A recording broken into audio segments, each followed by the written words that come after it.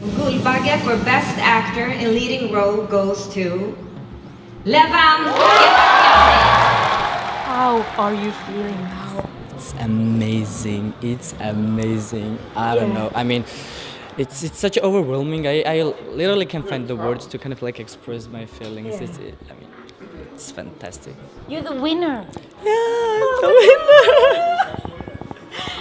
And where are you to put this thing? Probably in my room. Yeah? Yeah. Or I will give my mom because like he she's collecting all my awards and she's Oh. like really proud of this and she's like when when the guests come to our house she's like you know like this award like she Oh, she went there he went there and he went I mean he just he just like she just like collecting all the stuff that we get so he is really proud and maybe I will give it to him.